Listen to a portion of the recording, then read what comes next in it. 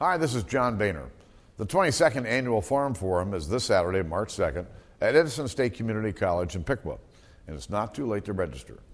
This yearly event provides an opportunity for farmers and ag experts to get together and have a discussion about important issues affecting our ag community. Farm Forum is free. It's open to anyone who's interested in agricultural issues.